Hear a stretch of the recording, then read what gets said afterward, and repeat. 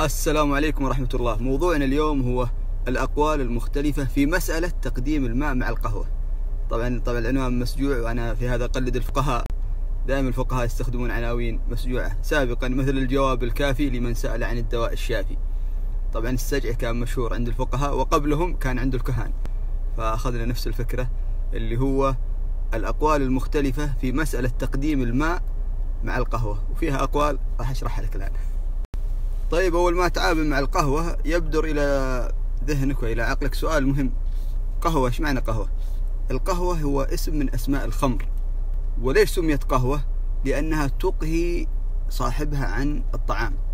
طيب تقول لي أنت بتكحلها وعميتها إحنا ما عرفنا قهوة تجيب لي تقهي أكثر صعوبة تقهي يعني تذهب بشهوة الطعام. يعني ما تحتاج الطعام وتشبعك عن الطعام. فلذلك سميت قهوة.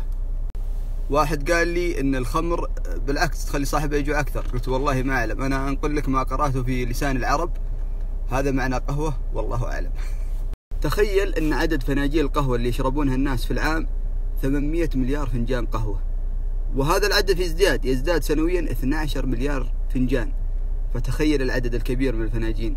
طبعا مسألة تقديم الماء مع القهوة هذه مسألة قديمة. يذكرون إن أول من بدأ مسألة تقديم الماء مع القهوة هم العثمانيين بحيث إنهم يقدمون لك ماء وقهوة فإن شربت الماء عرفوا إنك جوعان فمباشرة يجهزون لك الطعام. أما إذا شربت القهوة فيعرفون إنك شبعان فما يحتاج يقدمون لك الطعام وإنما يستمعون ويستمتعون بحديثك.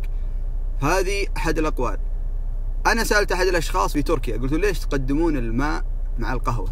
فقال هذا حتى تتلذذ بطعم القهوة نضع لك الماء فتشرب الماء اولا حتى تشيل جميع الأطعمة السابقة من على لسانك ثم تتلذذ بطعم القهوة لأن واثقين بأن قهوتنا سوف تعجبك. فأولا تشرب الماء وبعد ذلك تشرب القهوة. هذا قول آخر. أشخاص فاجأني حقيقة كان مبتعث في فرنسا ويقول لي أن من سوء الأدب أنك تشرب الماء قبل القهوة. هذا يعتبرها المطعم أو المكان اللي فيه أنك غير راضي عن القهوة اللي قدموها. فلذلك تبين يعني عدم رضاك بشرب الماء. وفي بعض العادات في بعض في الشام خصوصا إذا قدم لك قهوة مرة فمعنى هذا إنه غير مرحب بك والمفترض إنك تغادر مباشرة. أما إذا قدم لك حسب رغبتك يعني في القهوة فهذا لا يعني إنه مرحب فيك. حصلت مرة مشكلة مع أحد الأشخاص ويعني كنت وسيط في الحل بينهم فقال لي قدم لي قهوة مرة. أنا ما فهمت. قلت طيب عادي يمكنك ما تبغى السكر.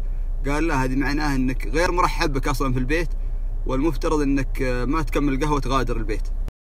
في الجزيرة العربية يختلف العادة طبعا القهوة العربية يختلف العادة من الشمال للجنوب للوسط فكل القبائل لهم طريقة معينة لكن خليني أعطيك بعض الأشياء. في الجنوب إذا قدم لك القهوة يعبي لك الفنجان وهذا دليل أنه كرم يعني أنا أعطيك كل ما عندي من القهوة. وهذا دليل كرم إنه يعبي لك الفنجان إلى إلى مطوق إلى إلى الطوق يعني اللي هو هذا. فهذا دليل كرم. أما في بعض القبائل في الجزيرة العربية فإنه يقدم لك الثلث أو أقل. وهذا احتفاء بك وترحيبا بك بحيث إنه أنا راح أقف لخدمتك ويشرفني خدمتك. فما يعبي لك الفنجان يعبي لك أقل من الثلث.